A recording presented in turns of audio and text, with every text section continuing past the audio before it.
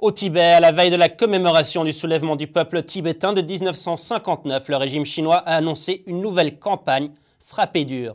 Des moines bouddhistes, des nonnes et des Tibétains, y compris certains sympathisants étrangers, ont participé à une veillée aux chandelles pour condamner la campagne. Le vendredi 5 mars, des exilés tibétains d'Aramsala en Inde du Nord ont tenu une procession aux chandelles pour dénoncer la condamnation des Tibétains à Lhasa par le régime chinois et réclamer leur libération. Les journaux au Tibet rapportent que les autorités chinoises ont annoncé le 3 mars une nouvelle campagne de frappe dure visant à maintenir la stabilité sociale. Les supporters tibétains révèlent que la campagne n'est qu'une série d'arrestations arbitraires, de détentions et de violations des droits de l'homme.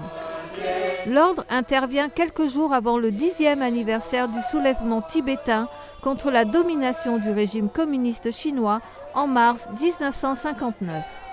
Le Congrès tibétain de la jeunesse a pris part à l'organisation de la soirée de veille. Nous organisons une veillée aux chandelles ce soir pour protester contre ces peines et ces condamnations. Nous invitons la Chine à libérer les Tibétains, y compris tous les prisonniers politiques tibétains qui sont actuellement emprisonnés au Tibet. Le régime chinois contrôle le Tibet depuis 1950.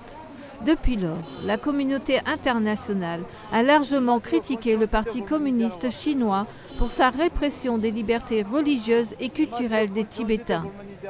Le mois de mars 2008 a vu les protestations les plus importantes au Tibet depuis plus d'un demi-siècle. Des démonstrations de revendications se sont répandues jusque dans les communautés tibétaines des provinces avoisinantes de Chine occidentale.